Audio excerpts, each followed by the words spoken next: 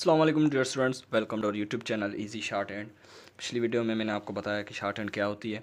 आज history of short and के बारे में हम कुछ डिस्कस करेंगे कि शार्ट एंड आई कहाँ से, क्यों इसका वजूद आया और किसने इसको ईजाद किया।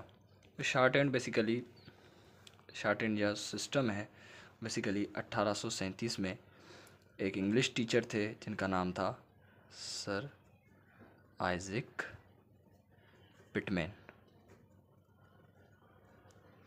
अठारह में सर आइजिक पिटमैन जी ने शार्ट एंड सिस्टम को पब्लिश किया था, लोगों के सामने ज़ाहिर किया था, और एक किताब ही लिखी थी पिटमैन शार्ट हैंड के नाम से। इनकी जो शार्ट हैंड है, वो पिटमैन पिटमैन शार्ट हैंड के नाम से मशहूर हुई थी, और सबसे पहले इन्होंने शुरुआत की थी।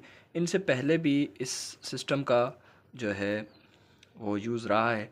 लेकिन अठारह से पहले इस सिस्टम का नाम फ़ोनोग्राफिक था और फ़ोनोग्राफ़ी में वही चीज़ें होती थी एक ज़बान होती थी लेकिन वो बहुत ही एंशेंट थी तो उस वजह से उसका ज़्यादा रिकॉर्ड नहीं मिलता। तो अठारह में सर आइजक पेटमैन जी ने इसकी जो है वो आ, मतलब यूँ कह लें कि इसकी ज़रूरत महसूस की कि एक सिस्टम बनाया जाए एक ऐसी ज़बान बनाई जाए जो कोड वर्डिंग कोड लैंग्वेज की तरह काम करें और उसमें कोड वर्ड इस्तेमाल हो ताकि आम बंदा ये आ, समझ ना पाए।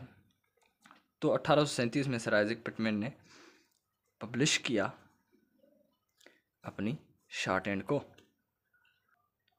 सही है जी अठारह में सर आइजक पिटमैन जी ने फ़र्स्ट पब्लिश किया था पब्लिश किया था और इस सिस्टम का नाम उन्होंने रखा स्टेनोग्राफी।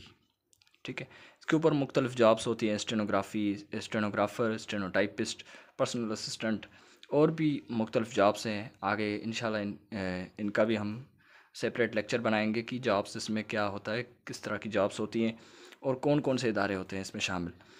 तो हिस्ट्री इसकी इतनी वास्ट नहीं है एक ही बंदा था ये सर आइजक पिटमैन। इन्होंने ही अठारह में इस चीज़ को पब्लिश किया, इस सिस्टम को पब्लिश किया। इनसे पहले भी शार्ट हैंड का इस्तेमाल होता था, इस सिस्टम का इस्तेमाल होता था, लेकिन थोड़ा सा नाम मुख्तलिफ़ था और बनाने वाले कुछ और थे और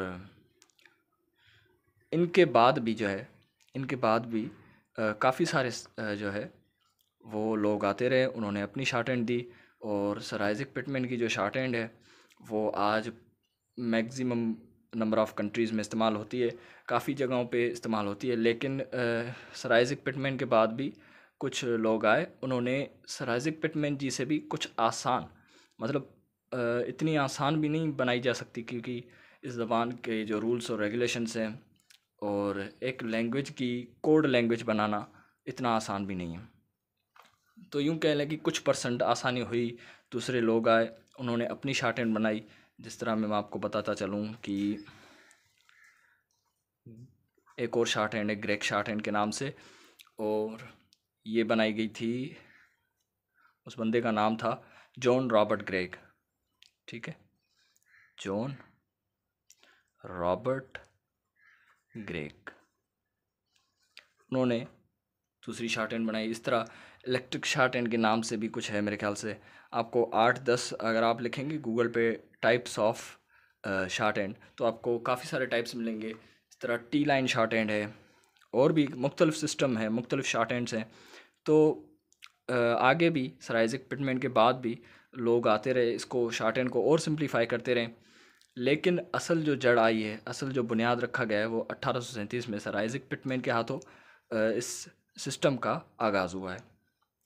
ठीक है, ये तो ये है इसकी इतनी मुख्तर हिस्ट्री और इतनी वास्ट नहीं है, इतनी जो है वो कि बस एक बंदे ने कुछ काम किया, दूसरे बंदे ने कुछ काम किया, इस तरह की इसकी कोई हिस्ट्री नहीं है, बस यही हिस्ट्री है। और इन मैं कोशिश करूँगा कि इसके बारे में ज़्यादा से ज़्यादा इन्फॉर्मेशन मैं आपको देने की कोशिश करूँ। तो इसकी हिस्ट्री जो है, वो इतनी है। आई होप आपको ये वीडियो पसंद आई होगी। वीडियो पसंद आई तो वीडियो को लाइक और शेयर लाजमी करें और अपने फ्रेंड्स में शेयर करें और इन मिलता हूँ मैं आपको एक अगली वीडियो में। तब तक के लिए अल्लाह हाफ़